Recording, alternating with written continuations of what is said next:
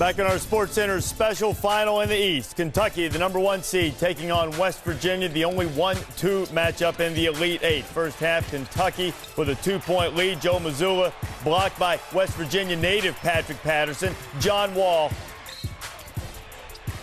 and one. Wall eight points, seven rebounds in the first half, but five minutes left in the half. Da'Sean Butler starts warming up, Richard. Boy, they just start making threes. They just won't stop getting the threes, just shoot them all. They don't score inside. They go 0 for 16 in that first half, or, and, and, and guess what? They end up making eight threes after going 0 for 16 inside the paint. Eight threes in the first half. Mazzulla going the other way. He had a season high 17 points. He made his first three of the season. You know, he's had the shoulder injuries on his shooting side. Truck Bryant injured, liking what he sees. Daniel Orton, the freshman, trying to urge his teammates on.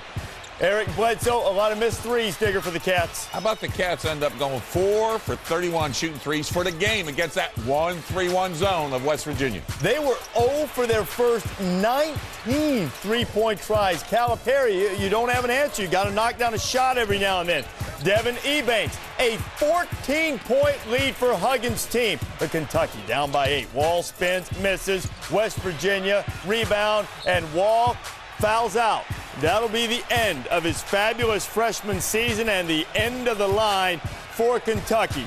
Almost heaven, West Virginia going to Indianapolis. The Mountaineers to the Final Four, and Bob Huggins continues his mastery over his good friend John Calipari.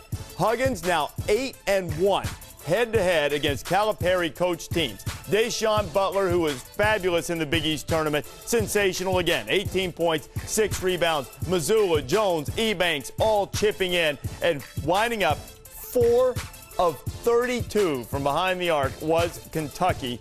And Kentucky, the end of the road comes. You see West Virginia, they go to the Final Four for the first time since the Jerry West era.